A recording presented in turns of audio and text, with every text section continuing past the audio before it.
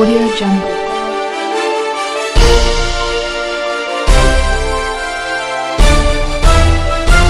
Audio Jungle. वैसे तो जनता बहुत समझदार है और वो अपना भला बुरा खुद भी समझ सकते हैं जैसी परिस्थितियाँ हैं आज देश में हमारे जो बड़े जो नेतृत्व कर रहे हैं आज देश का, उन्हें भी चिंता है और चिंता इसलिए भी है क्योंकि जनता हमारी है, राष्ट्र हमारा है और इसमें कोई दुखी होगा, कोई परेशान होगा तो उसमें आगे परेशानी सबको होने वाली है। इसलिए सरकार ने जो आह्वान किया, प्रधानमंत्री ने जो आह्वान किया, उत्तर प्रदेश में योगी जी ने जो आह्वान किया है, उस आह्वान का लाभ लोगों को मिल रहा है। लेकिन अभी बहुत कुछ लोग ऐसे हैं जो जिनकी परिस्थितियाँ उतनी अनुकूल न होने के कारण उन्हें थोड़ा कठिनाई का रास्ता भी देखना पड़ रहा है। जैसे हमारे यहाँ मज़दूर लोग आए और मज़दूरों के पास आज खाने को रोटी नहीं है। तो बेचारे पलायन कर रहे हैं वो। उन पलायन करने वाले जो मज़दूर हैं, उनको भी अगर ये व्यवस्था देने का संकल्प सरकारें करें, जैसे आज केजरीवाल जी ने किया है। ऐसे केंद्र सरकार भी उसमें लगी हुई है और बहुत बड़े पैकेज का उन्होंने अभी घोषणा की है। तो ये धीरे धीरे क्योंकि एकदम कोई चीज़ नहीं पहुँच पाती किसी के पास। मुझे लगता है कि तैयारी सरकार की पूरी है। सरकार कहीं भी छिपावा नहीं रखना चाहती है।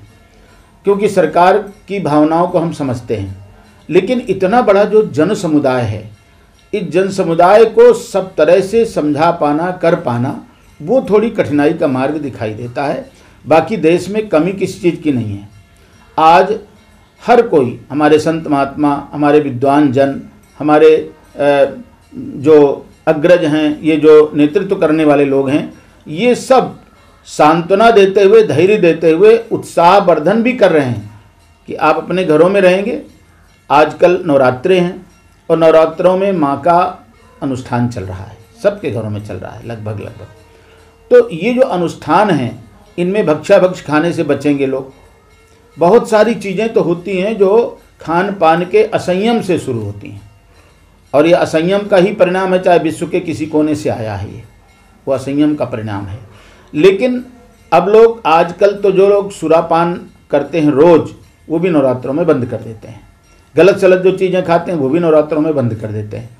तो इन सब चीज़ों का और दूसरी बात अनुष्ठान का, जो प्रभाव पड़ने वाला है समाज में, वो ही, वही समाज को सुखी करेगा।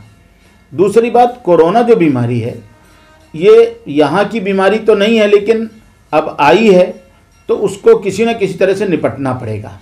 पर वो भय से नहीं डर से नहीं।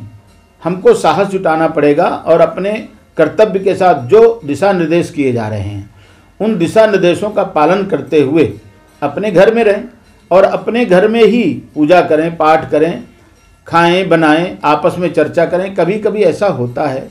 लोग कहते हैं, महाराज टाइम नहीं मिलता। सवेरे से शाम तक बच्चे कई बार अपने पिता को रात देख ही नहीं पाते कि हमारा पिता कौन है। क्योंकि सवेरे जल्दी चला गया, रात में देर से आया, तब तो बच्चे सो जाते हैं। तो इसलिए महीनों, पंद्रह दिन, एक हफ़्ते तक अपने पिता का दर्शन नहीं हो पाता है। तो इस बहाने को ये मानकर चलना चाहिए कि अगर ये अवसर इस तरह का मिला है तो आज परिवार के बीच हमको रहने का थोड़ा अवसर मिलेगा, एक दूसरे को समझने का अवसर मिलेगा। सब कुछ सरकार के मत्थे नहीं मढ़ा जा सकता है।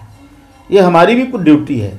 हमारा भी कोई कर्तव्य, हमारे भी कोई एहसास हैं जिनको हमें सबके बीच में बांटना चाहिए। जैसे आजकल की व्यवस्था है तो जो धनी मानी लोग हैं कई तो अभी भी जैसे आटा है दाल है चावल है सब्ज़ियाँ हैं उनको स्टोर कर रहे हैं छिपा रहे हैं और वो छिपा करके महँगा बेचने के चक्कर में। तो ये मानवता के अ, अनुसार काम नहीं है ये। ये मनुष्यता के लिए बहुत बड़ा एक तरह से धोखा भी है और ये पाप भी है। आज तो खुल करके लोगों को सामने आना चाहिए और मैं कहता हूँ जो थोड़ा सा ऐसे परिवार हैं जो अपने खाने के अलावा, अपने भोजन के अलावा चार परिवारों का अगर पालन कर सकते हैं, नहीं अकेले कर सकते तो चार लोग गुट बना के करो। एक एक ग्रुप छोटा छोटा दस दस पंद्रह पंद्रह परिवारों की ज़िम्मेदारी ले ले कि भोजन हम देंगे। तो मुझे नहीं लगता कि कोई भूखा रहेगा देश में। सबको रोटी मिल सकती है।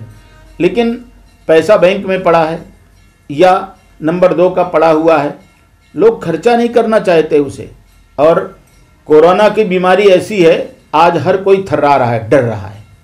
चाहे किसी के पास बहुत बड़ी संपत्ति है, चाहे किसी के पास बहुत बड़ा मकान है, चाहे किसी के पास बहुत बड़ा व्यापार है, चाहे किसी के पास बहुत बड़ी फैक्ट्री है, चाहे किसी का बहुत बड़ी अप्रोच वाली दिशा है, सब कुछ आज सूना और अधूरा पड़ा हुआ है। हर आदमी को लगने लगा है कि मेरी ज़िंदगी है, मेरी ज़िंदगी बचेगी तो मेरा सब कुछ बचेगा। अब मेरी ज़िंदगी ही नहीं बचेगी तो मैं क्या बचूँगा? या मेरा क्या बचेगा?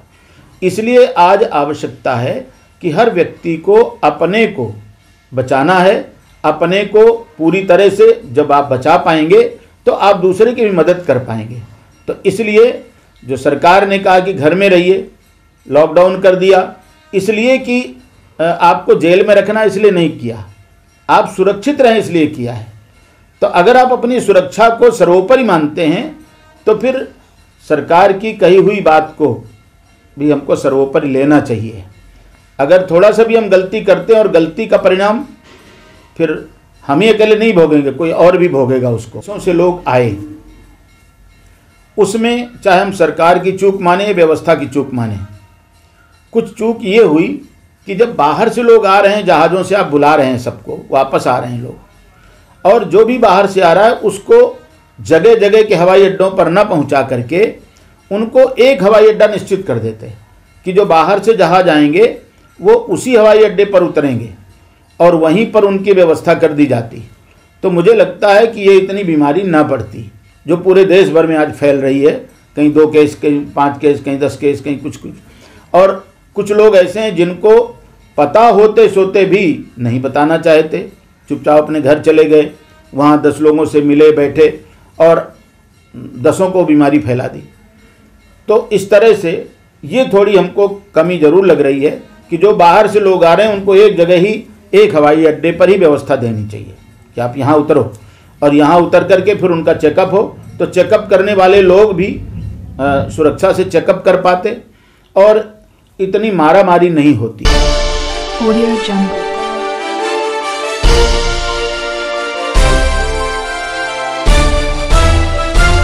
Audio Jungle.